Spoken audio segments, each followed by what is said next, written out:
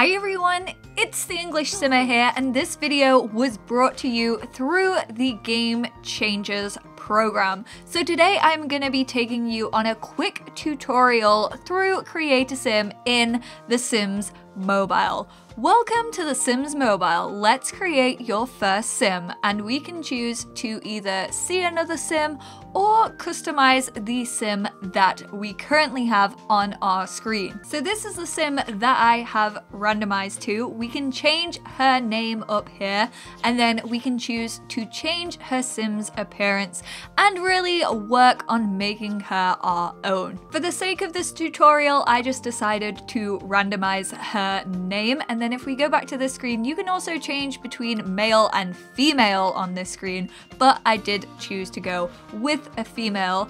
Then if we click on the face options, you obviously on the right hand side have all of your default faces.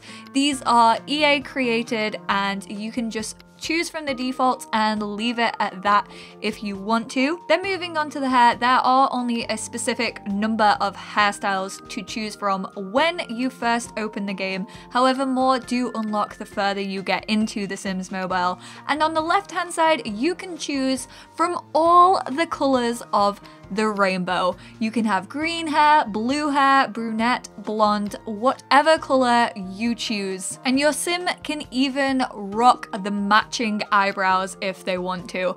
I didn't feel as if this sim could completely pull it off, so we toned it down a little bit to a more natural color for her. Then if you head back to the original head options, you can go down to detail mode, which runs a y-axis and an x-axis.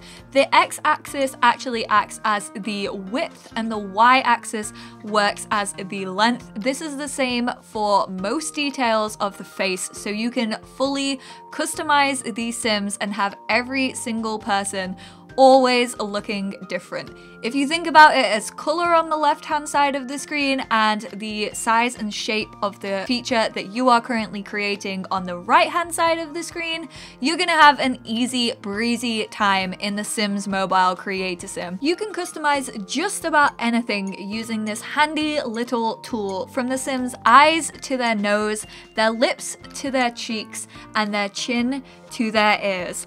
And trust me, you can get some ugly looking Sims if you try. The eyes menu is where you'll find access to all of the makeup in The Sims Mobile, from blush, where you can pick the perfect match for your Sims skin tone, to eyeshadow and liner to add more definition to your Sim's eyes, and lipstick and gloss to give your lip a little bit of pop. By popping back over to the main menu, you can change the body shape and size of your Sim to find the perfect fit for them and then stylize them however you would like to with the fashions from The Sims Mobile. Get crazy, get creative, and do not hold back. You want to catch other players' attention whilst your Sims roaming around the world, and the best way to do that is through what you wear.